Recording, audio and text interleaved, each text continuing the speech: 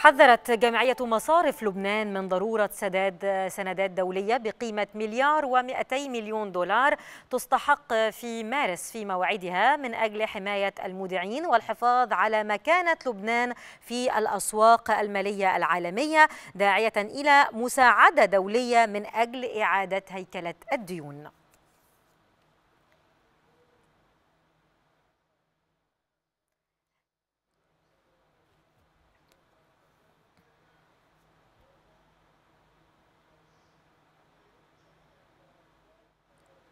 لمزيد من النقاش انضم إلينا عبر سكايب من بيروت سيد ياسر الخطيب المحلل الاقتصادي. مرحبا بك سيد الخطيب في هذا النقاش على اكسترا نيوز يعني حين يطلب لبنان مساعدة صندوق النقد الدولي لهيكلة الدين العام.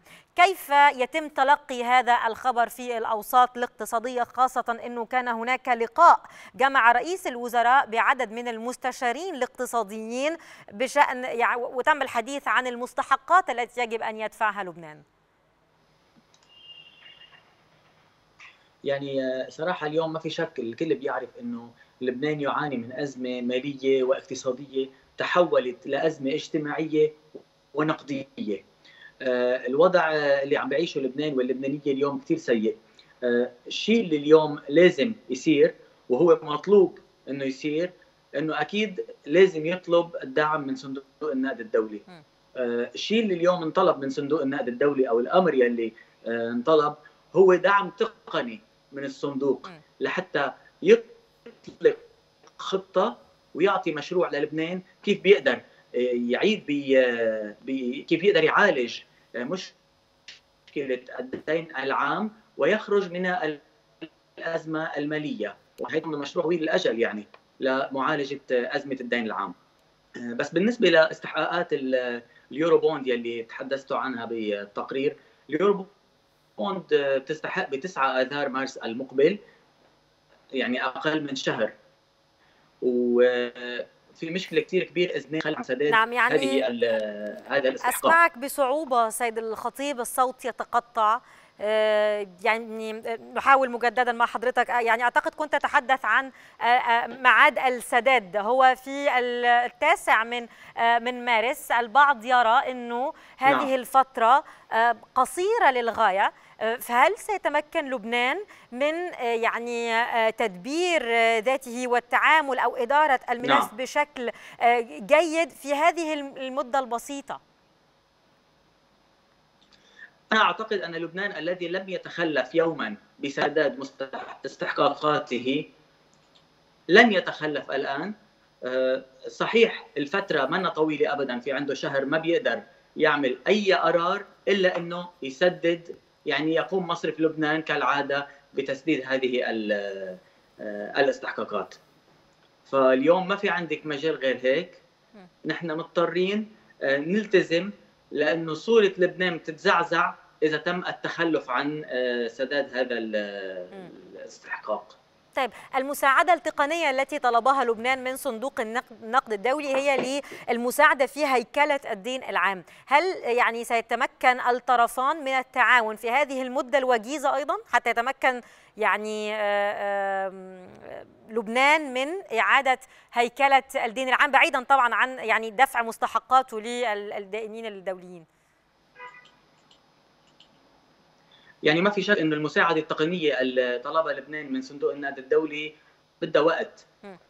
ياخذ يوم ويوم وجمعة أو أسبوع واسبوع أكثر لأنه بده يكون في خطة بده يكون في مشروع لمعالجه الأزمة اللبنانية الاقتصادية وبالتالي مشروع طويل الاجل بده يكون كما ذكرت لمعالجة أزمة الدين. بده يكون في كمان تعيين خبير مالي بده يكون في أو خبراء ماليين وبده يكون في كمان في تعيين مدققين وخبراء قانونيين لحتى يقدروا يعالجوا هذه الأزمة. وبالتالي لا مفر من مساعدة صندوق النقد الدولي. علما أن مساعدة صندوق النقد الدولي ستكون موجعة لأن صندوق النقد سيطلب كالدول المانحة وكالمجتمع الدولي سيطلب إصلاحات جديده على لبنان. هل هذا سيتعارض مع ما ذكره حسان دياب بالأمس في بيانه الوزاري حين قال إن خطة الإنقاذ لن تمس الفئات محدودة الدخل خطة الإنقاذ اللي طرحها اللي طرحتها الحكومة تختلف عن خطة الإنقاذ أو المساعدة التقنية التي أو المساعدة الدعم الذي سيقدمه صندوق النقد الدولي. خطة الإنقاذ هذه للحكومة فهي رؤية للحكومة. عم بيقولوا ما راح يدقوا بذوي الدخل المحدود. ولكن صندوق النقد الدولي لما بده يقدم الدعم بده يطلب تخفيض برواتب موظفي القطاع العام بده يطلب تخفيض بعدد الموظفين بده يطلب رفع بعض الضرائب والرسوم. فهون هي يعني المساعدة الدولية رح تكون سيف ذو حدين. ستساعد ولكنها ستوجع. نعم. طيب البعض يرى أنه نعم تفضل سيد الخطيب. نريد أن نرى مدى مساعدة ومدى تنفيذ الحكومة لرؤيتها وللإصلاحات. فهناك بعض الخطط الموجودة برؤية الدولة أو رؤية الحكومة الرؤية الجديدة وخطة الإنقاذ وبالتالي موازنة 2020 فيها خطط لا تزال غير مجدية كخطة الكهرباء كالإصلاح في خطة الكهرباء كأنه لم يكن. فخطة الكهرباء القديمة المتبعة في السابق تم اتباعها في هذه الخطة الجديدة الرؤية الجديدة للحكومة في الموازنة وهي أرهقت لبنان أثقلت كاهله بالديون لجهة الكهرباء ولم تجدي نفعا. هناك استئجار للبواخر ليس فيها تأهيل لمعامل لبنان لإنتاج الكهرباء، لذلك يعني ليست الإصلاح اللي فيها على سبيل المثال الكهرباء لا يجدي نفعا. طيب البعض البعض يعني يطرح فكرة أخرى يعني يقولون ما المانع أن يتم تجميد الدفع؟ أتحدث عن مستحقات مستحقات لبنان أن يتم تجميد نعم الدفع نعم. حتى اللحظة لأن هناك أولوية أخرى تتعلق بتوفير القمح المحروقات السلع الغذائية والدوائية. يعني من باب الأولويات يعني يتحدثون. يعني كيف ترى هذا الطرح سيد خطيب؟ لا أوافق على هذا الطرح اطلاقا. آه هذه شعارات في يطلقها البعض في لبنان. آه بعدين مصرف لبنان يعني ساعد بهذا الشيء. امن تمويل امن اعتمادات بالدولار الأمريكي لأن هذه المواد تستورد من الخارج فساعد بذلك. ولكن اليوم التخلف أو أو تجميد السداد عن عن الدفع كارثه بالنسبة للبنان لأنه لم يتخلف يعني يخرج من النظام المالي العالمي الريتنج تبعه كمان التصنيف كذلك الأمر المصارف المراسلة ما بتعود تقدر تتعامل معه. بعدين أنت بدك عملة صعبة. يعني في كارثة في كارثة كثير كبيرة إذا تخلف عن السداد. بصير في عندك كأنه يخرج من النظام المالي العالمي. وبتعرفي اليوم إذا في بلد خرج من النظام المصرفي المالي العالمي يعني خلص صار في عليه بلوك. فهيدي نعم. كثير طيب. كبيرة ولا يمكن إنه يقدر يجمد الدفع. في تصريحات للرئيس اللبناني ميشيل عون قال إن مرحلة جديدة تبدأ بمنح الثقة لحكومة حسان دياب وانه أي شخص امتدت يده إلى خزانة الدولة سوف يحاسب ولا بد أن يحاسب بالقانون. هنا مكافحة الفساد وهي كانت يعني عنوان رئيسي من عناوين الحراك المطالبين بإعادة الأموال المنهوبة ومحاسبة المفسدين. وهو أيضا يصب في يعني في إصلاح الخلل الاقتصادي إذا ما تم استعادة هذه الأموال. يعني كيف ترى هذا الأمر سيد الخطيب؟ هل من الممكن فعلا تنفيذه في وقت قصير لينهض لبنان من عثرته؟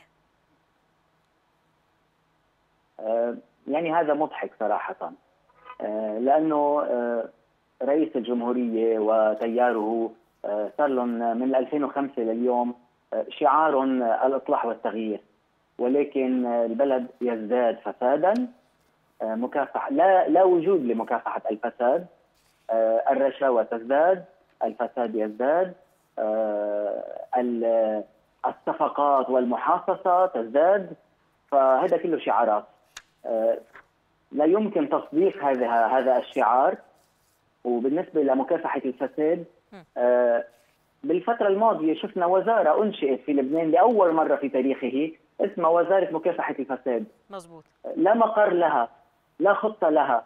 آه، لم نرى مسؤولا واحدا اتهم بتهمة الفساد بلبنان أو آه، أنه هرب أمواله آه، إلى الخارج أو أنه ثبتت عليه صفقة من الصفقات العمومية نعم. أو المال المنهوب. فهذا كله شعارات لا يمكن تصديقه للأسف. على أرض الواقع. نعم بشكرك شكرا جزيلا سيد باسل الخطيب المحلل الاقتصادي. كنت معنا عبر سكايب من بيروت.